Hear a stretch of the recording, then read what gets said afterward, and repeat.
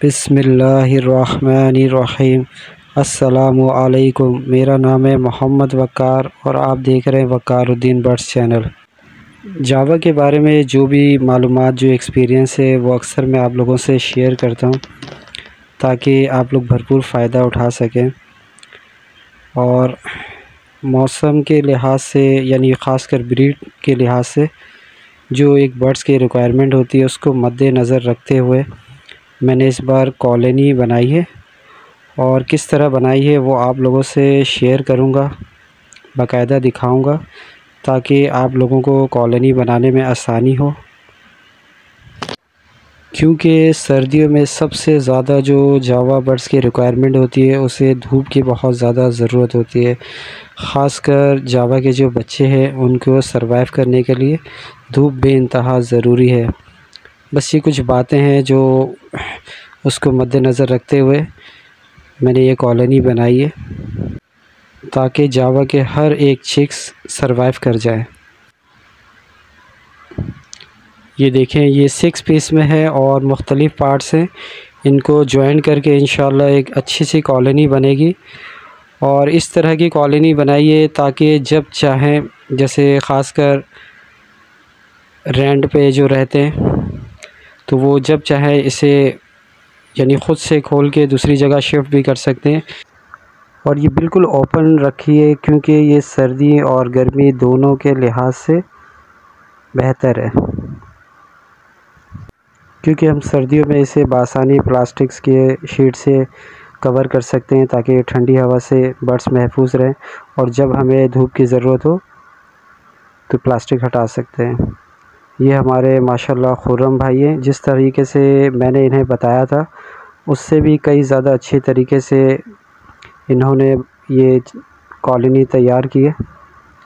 और माशाल्लाह खुलूस दिल से इन्होंने काम किया और बहुत अच्छा काम किया मैं मुतमिन हूँ। जैसे मैंने चाहा था, उससे कई ज़्यादा अच्छे तरीके से इन्होंने किया है। अल्लाह ताला इन्हें जजाय खैर दे। ये अब देखिए कितने आसानी के साथ ये पीसीस को ज्वाइन कर रहे हैं। मेरी कोशिश यही होती है कि हर दिन मैं कुछ ना कुछ सीखता हूँ, बर्ड्स के साथ जितना वक्त गुजार रहा हूँ, कुछ ना कुछ सीखने को मिलता है। जो पहले कॉलोनी बनाई थी, वो भी अपनी जगह बेहतरीन है। सब कुछ अच्छा यानी ब्रीड के हवाले से भी बहुत अच्छा रिस्पांस मिला।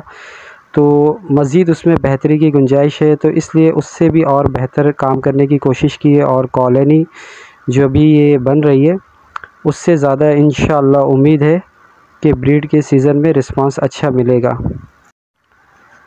और वैसे ही अब तकरीबन दो से ढाई महीने रह गए ब्रीड के, यानी सीज़न जावा के शुरू हो जाएगा इन तो कोशिश करूँ, कर रहा हूँ अपनी तरफ़ से कि जल्द से जल्द जो जो काम है, वो कंप्लीट करूँ और दिखा रहा हूँ आप लोगों को इसलिए कि अगर कोई मेरे भाई बहुत से अक्सर पूछते भी रहते हैं कि किस तरह की कॉलोनी होनी चाहिए तो जो पहले भी मैंने कॉलोनी बताई थी हाइट छः फुट और इसकी जो चौड़ाई है, वो सात फुट, आठ फुट, यानी इस तरीके से। लेकिन जो अभी कॉलोनी बनाई है, इसकी हाइट कम है, चार फुट की है।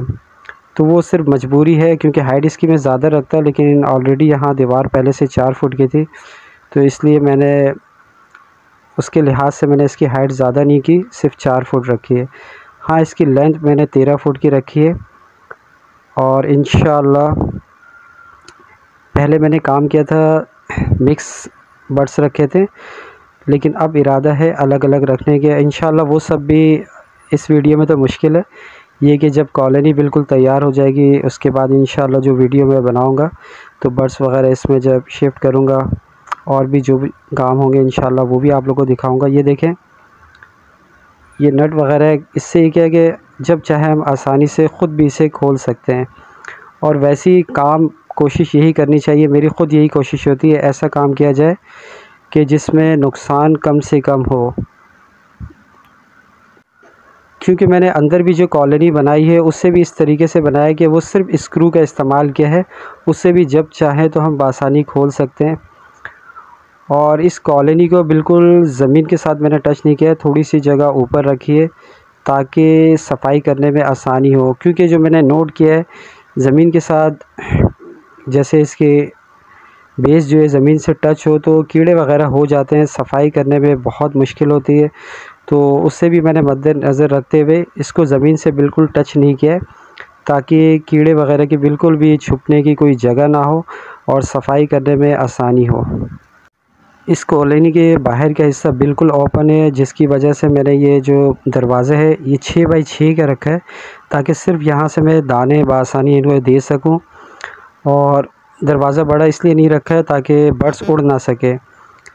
क्योंकि कॉलोनी के दरवाज़े, जो पहले वाली कॉलोनी है, उसके तो दरवाज़ा बड़ा रखा क्योंकि वो मास्टर केज में और ये ओपन जगह में, लेकिन इसके जो मेन दरवाज़ा है, वो मास्टर केज की ही तरफ़ से मैंने रखा है। ये देखें इसके लास्ट पीस है। इसे अब जॉइन करेंगे। ये देखें माशाल्लाह कितने आराम से बहुत, यानी किसी किस्म की मुश्किल नहीं हुई और बहुत कम वक्त में इन्होंने ये जॉइन किया है।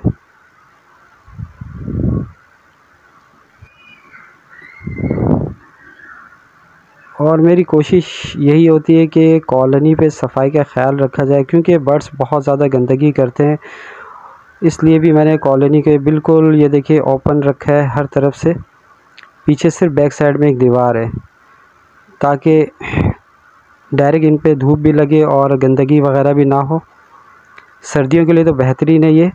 और गर्मियों का भी इंतज़ाम किया। ये देखिए, माशाल्लाह, इसकी जो लंबाई है, ये तकरीबन तेरह फुट की है। ये आप देख सकते हैं, ये मास्टर केज है।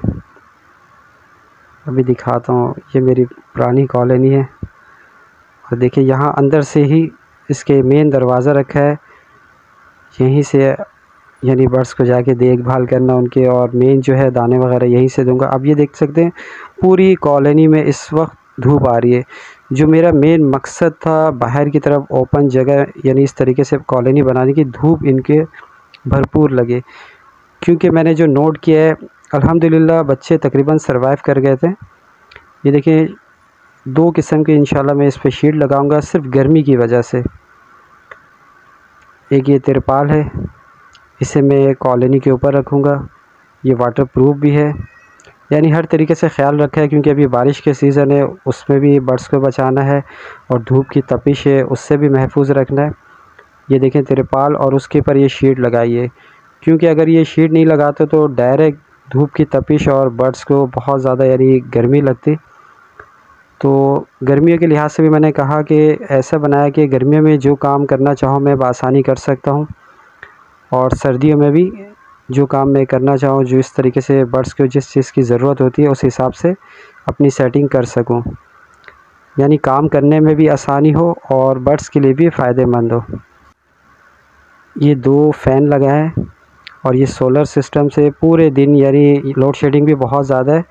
तो कम से कम ये टेंशन नहीं है, ये फ़ैन यानी सुबह से लेकर मगरिब तक ऑन जिसकी वजह से बर्ड्स को इन जो शदीद गर्मी है बाहर, लेकिन देखिए तिरपाल और इस तरीके से सिस्टम किया है तो अंदर ठंडक है और कॉलोनी के बाहर देखिए इस वक्त भी शदीद धूप है, लेकिन अंदर ठंडक है और जब ये फ़ैन ऑन कर दूँगा इन यहाँ का जो माहौल है टम्परेचर वो नॉर्मल हो जाएगा। पहले वाली कॉलोनी में कुछ गलतियाँ हुई थी मटकी के हवाले से भी और स्टिक के हवाले से भी। तो इन इसमें जैसी मटकियाँ लगाऊँगा स्टिक वो दिखाऊँगा। ये देखें मगरिब का रुख है। तो इससे यहाँ हवा लगती है और एग्जॉस्ट का भी ये काम करेगा फ़ैन। और जो ठंडी हवा जो भी होगी इन्हें मिलेगी। मैंने लाइन भी लगा दी है और फ़ैन भी ऑन कर दिया है। गर्मी के लिहाज से ये बेहतरीन सिस्टम है। अपनी तरफ़ से अच्छा काम करने की कोशिश की है और आप लोगों को दिखाया है ताकि आप लोगों को इससे बेहतर काम करने में आसानी हो। इन आने वाली नई वीडियो में फिर मुलाकात होगी। इजाज़त चाहता हूँ। अल्लाह हाफिज़।